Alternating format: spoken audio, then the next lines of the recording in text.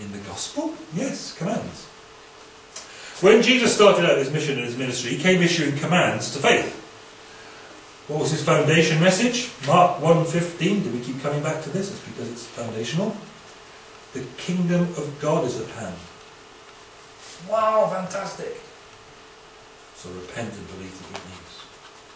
Now, the good news is that Christ forgives our sin, puts us right with God by grace through faith alone, isn't it? That's the good news. But what is it that such faith believes? The faith that gets you put right with God by grace through faith alone. What, what, what is it that such faith believes? Such faith trusts, takes God at His word. What is His word? His word is that sin is actually bad, and that it needs repelling and repudiating. Not just letting go of, but pushing out, booting out. And such faith, therefore, repents of its sins because that's what it believes. Is that making sense to you?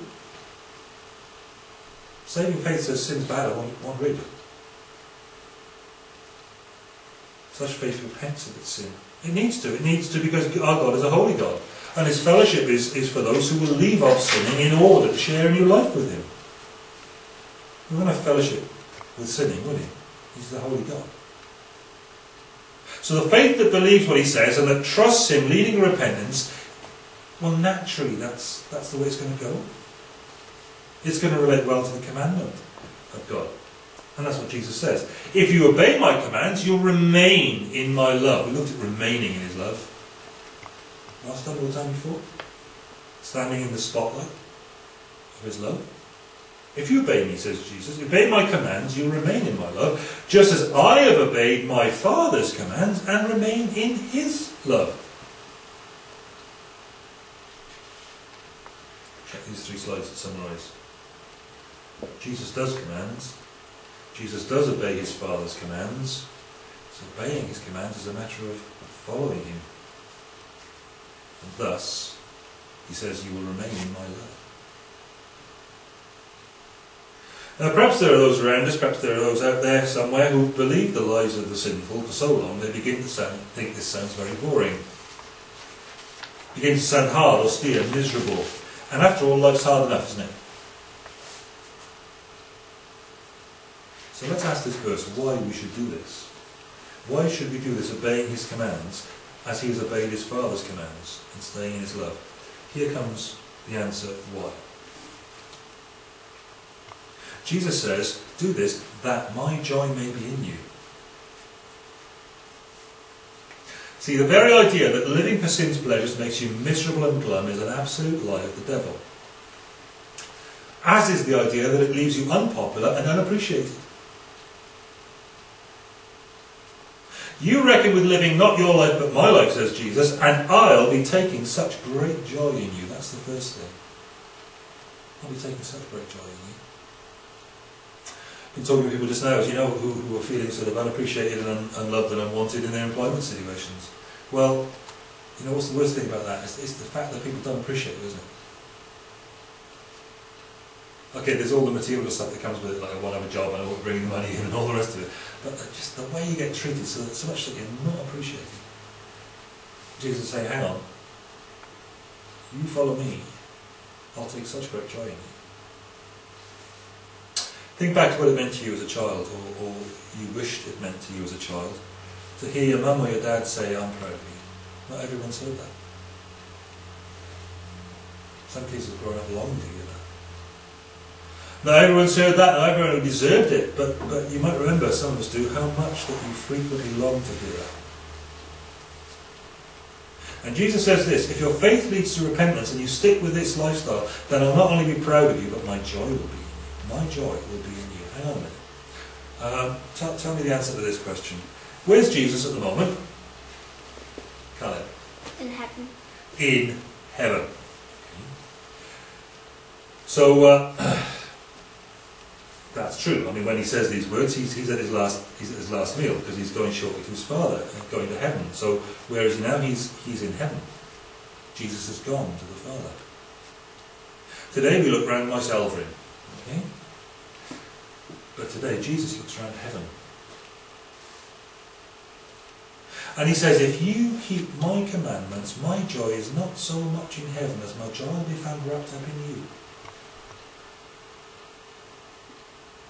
Sitting in myself. And that is an astonishing thing for him to say, isn't it? How would that be? I've told you this so that my joy may be in you. But there's more. We relate to his commandments in the way we've said, because of faith and the repentance it leads to, that my joy may be in you, says Jesus, and so that your joy may be complete joy.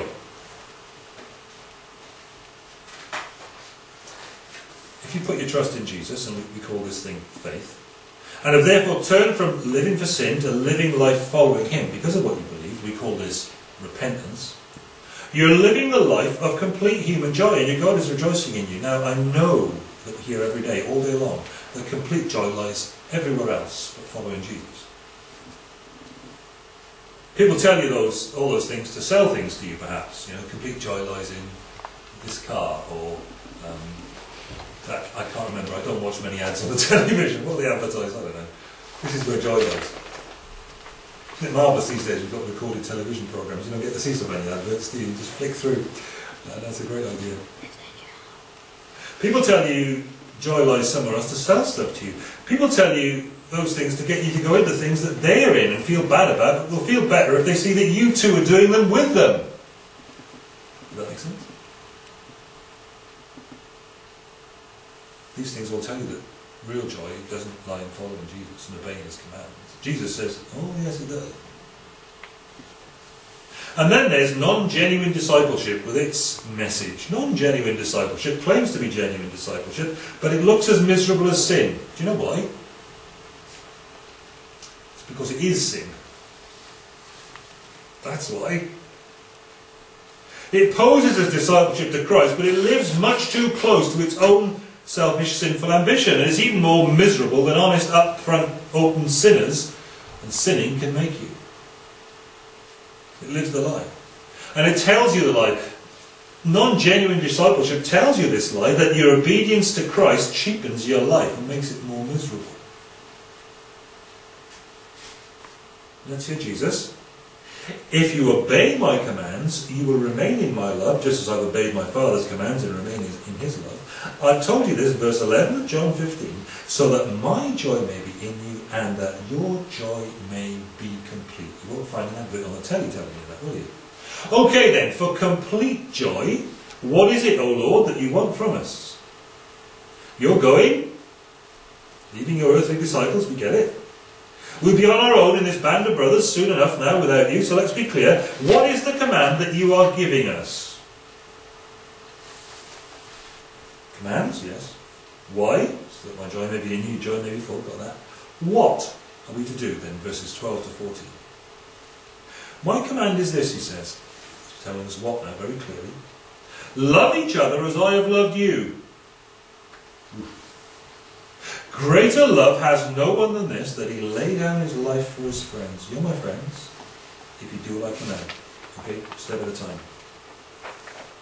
Here's what, verse 12. Here's the thing, says Jesus. In case you haven't seen the point of the last three years yet, what you've seen me doing for you in the context of our cosy little band of brothers over the last three years, all that talking and listening and caring and sharing, remember, in our little gospel community,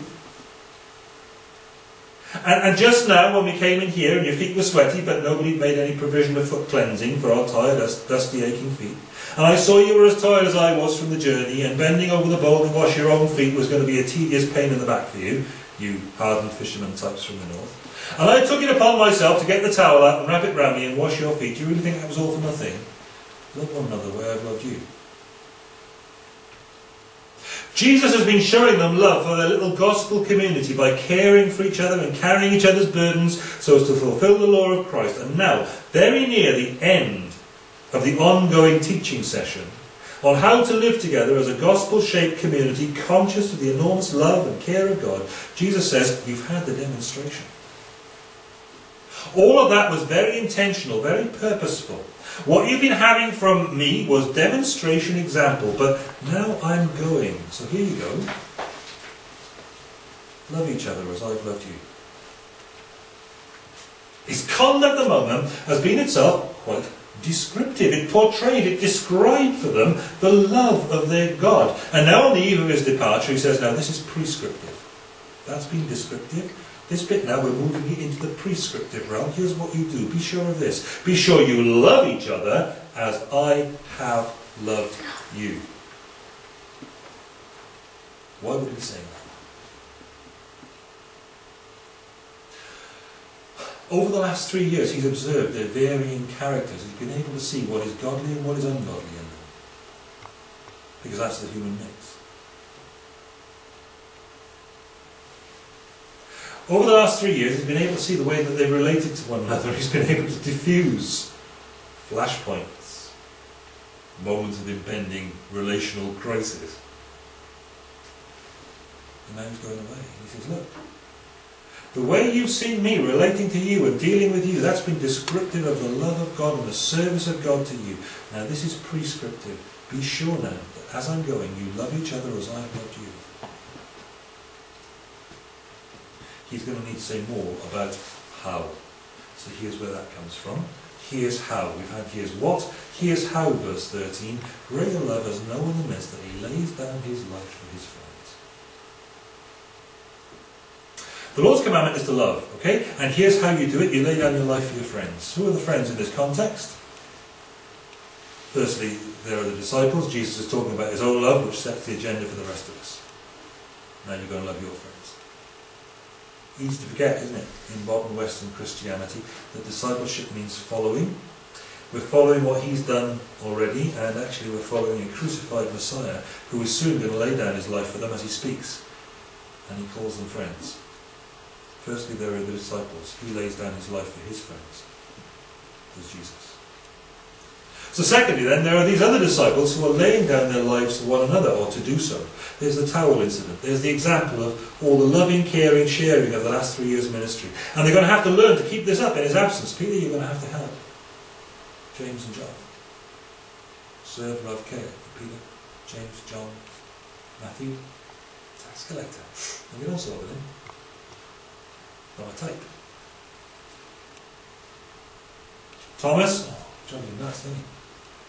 He's always dithering? And always, oh, I'm sure. Do you know those people? You'll always get somebody in your church who's, who's, who's health and safety. You know, You'll always get somebody like that. That's great. They're supposed to be that. Love one another, says Jesus. The way I you. You always get somebody like Peter who's all mouth and fast action. Oh dear. We'll see that now. Love one another, says Jesus, the way I've loved you. And keep this up in my absence. Whatever your natural differences, which are many, you'll have to lay down your lives for one another. And then second, uh, thirdly, they're the friends of Jesus now, verse 14, and all of them are going to lay down their lives eventually for him.